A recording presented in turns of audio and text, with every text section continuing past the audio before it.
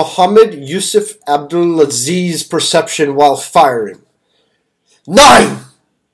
Execute. Ayah! No. Fire! Fire! Execute. Ayah!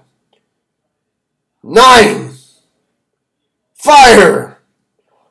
All automate my finger under perception of Mohammad Yousef Abdalazeez.